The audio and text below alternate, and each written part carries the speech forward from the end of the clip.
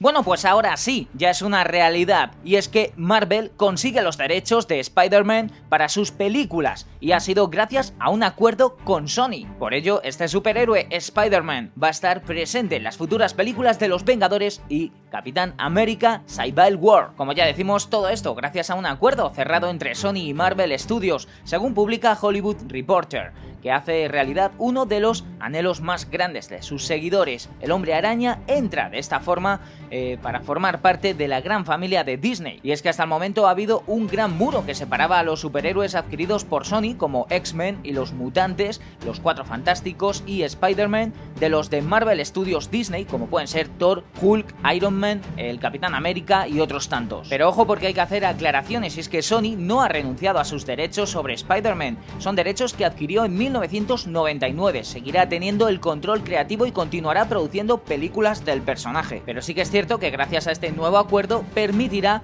que eh, Spider-Man salga en la próxima entrega del Capitán América. Muchos se preguntan si será el mismo actor que hemos visto en las últimas películas de Spider-Man el que interprete el nuevo papel. Bueno, pues eh, Andrew Garfield, que es este actor, eh, probablemente no aparezca haciendo de Spider-Man y busquen un nuevo actor. A partir de ahora comienza una nueva franquicia del superhéroe Spider-Man, que se estrena el próximo 28 de julio de 2017, con la producción de eh, Kevin Fitch y su equipo de trabajo de Marvel y Amy Pascal, que regresa a la saga de Spider-Man 13 años después de su primera colaboración. La verdad es que parece que hay bastante buen rollito a partir de ahora entre el presidente de Marvel Studios, eh, Kevin Fitch, y bueno, los chicos de Sony. Por último hay que decir que a Sony le ha costado bastante cerrar este acuerdo y es que Spider-Man es la franquicia más exitosa de la historia de Sony Pictures con 5 películas y más de 4 millones de dólares recaudados a nivel mundial.